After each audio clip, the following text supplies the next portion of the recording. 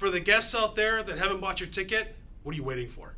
You're about to have some amazing food from amazing chefs that are here locally in your backyard. We have incredible talent here in Temecula in NDIE, and I so I I really recommend that you come in and taste, you know, little bites of what the culinary talent has to offer. So come get to know your chefs and you know support your community. Well, it's a great opportunity just to try all the food that's going to be there because these are all local restaurants, and if you like what they're presenting, you like what they're doing, go visit those restaurants. Spend the money in those restaurants that are local, and then you know support the local restaurants around here because it's it's really needed. For the guests, I say come on out and enjoy some food. Let's give some money to these kids and let's support a great cause.